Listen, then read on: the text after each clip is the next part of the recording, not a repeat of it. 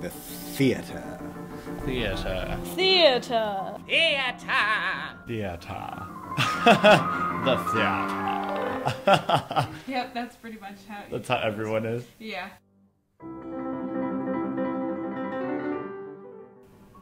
Theater. What do you think of when you hear the name? A large, stuffy building with lots of large, stuffy, rich people? Or that place you went to when you were five to go see the Nutcracker?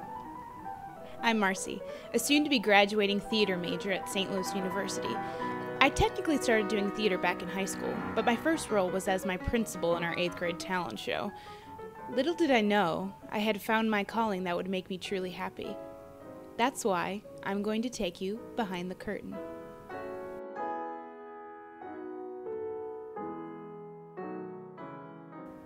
This is Gary Barker, my mentor and acting professor from the last four years. He's one of the most interesting and unique people I've ever met. Hello, my name is Gary Barker, Chair of Fine and Performing Arts, actor, director, fashion icon. Every society throughout time, the primary way that values have been communicated have been through stories. And that's how we communicate what's important in a society. We learn how to interact with each other, in part by modeling what we see in our families and in interpersonal dynamics, but in large part through the stories we see displayed out in front of us. It's no accident, I think, that many of the religious leaders throughout time Christ, the Buddha, Muhammad, whoever you might pick often shared the value system that they were trying to teach others through storytelling. While people may think that they're just going for an escapist reason to go see the latest you know, Harry Potter or Transformer movie, in fact, those movies, whether we're consciously aware of it or not, are giving us a value system. These are some of my fellow students and friends at SLU. I've worked beside each of them, and we've been through some really rough and really rewarding times together. My parents always knew that I was going to do theater ever since I was little. I think since I was three, I would like take out all my stuffed animals and make elaborate plays with them and make like these huge plays. And then when my brother and sister were born, I forced them into doing movies. I did my first show in seventh grade, seventh and eighth grade performance at St. Peter's Elementary, and I just remember my teacher said, "Hey, you know, have you guys been watching Billy today? He came on stage with such presence and such whatever. You guys need to be more like him." I was like, "Shoot, that's awesome." Then I got started in high school, and that kind of snowballed into the rest of my life. Before a cast can even begin to set the show on stage, there are weeks of preparation beforehand. Uh, we'd get a pretty intense, like, four hour block of rehearsal time and then go maybe a week without touching that part of the script again. So a lot of it was uh, homework for us. Uh, we'd get our notes, be able to spend a lot of outside time really figuring out what all of those notes meant, becoming, becoming part of a whole with your individual scene. There's a lot of vocal work, a lot of timing work, learning not to give yourself time to think, but trusting these characters to know what to say immediately. It's four and a half hours a night, Monday through Friday. And then Saturday's five and a half hours, and it just depends on the director as to what day you get off. You usually have one night off, and the rest you're in the theater for forever. So I think that's something that theater is really good at teaching is that you have to manage your time wisely, or there's no way. Uh, I spent a lot of time uh, looking up interviews and articles about the about the time period, so that we come in fully informed, uh, looking at photos, the interviews, um, so that we we come in with a certain common knowledge about where this story is being drawn from. Just like any sport, no one can just arrive at the theater and perform. Everyone usually has their own unique warming up process. It's essential for an actor to be limbered up and fully aware to perform, even if it sounds ridiculous.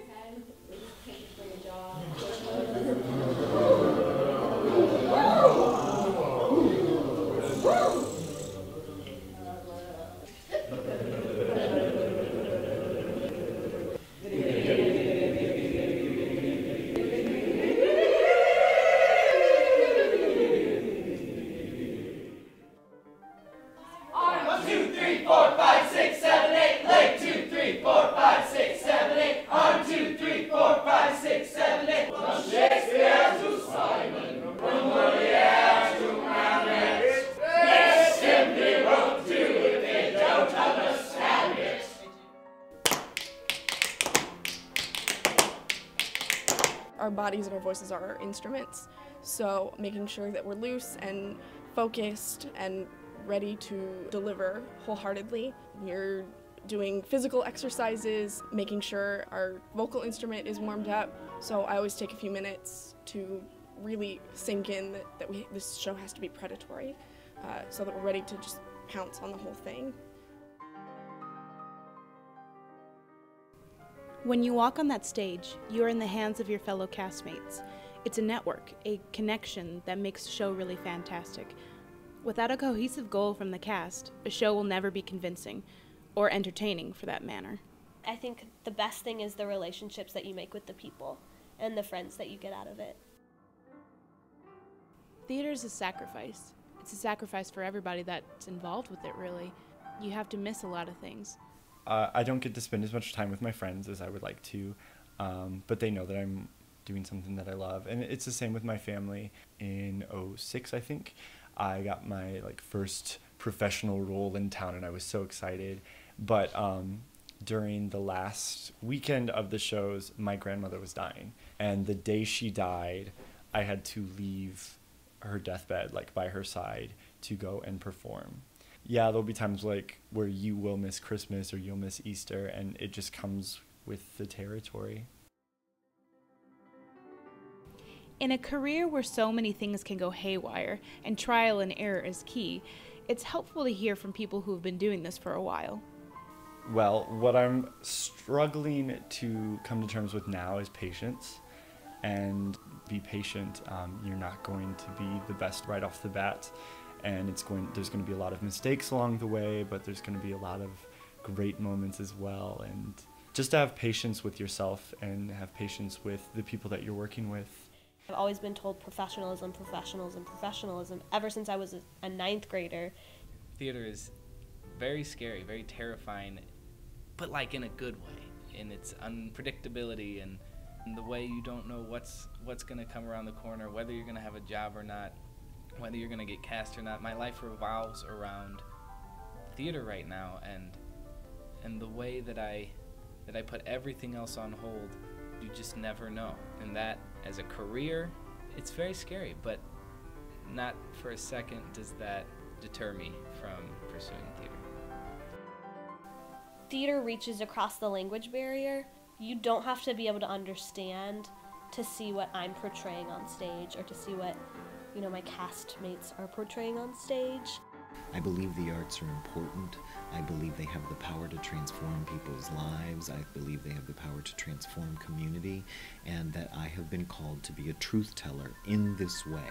It's service, frankly, in my particular bent. It's my ministry, if you will, uh, in, in terms of my value system. It's the way I've been called to minister to the world that I'm in one of the reasons I love working with our director is that he reminds us constantly that this is art and that art has the potential to change the people who see it. So, knowing that we're showing our audience something completely new has really kept me motivated.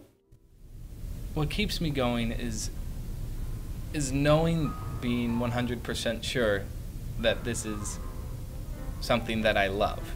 And it may not be for my entire adult life that I pursue this, but right now, as a 20 year old, I know that this is where where I'm most happy and where I feel most fulfilled. And I've been rejected plenty and, and I've been accepted probably more than more than I will be in the near future. Being positive that this is knowing that this is what makes me happy helps me to to get beyond the failure and get beyond all the obstacles expecting to have a very low income and and all those different challenges that come with it.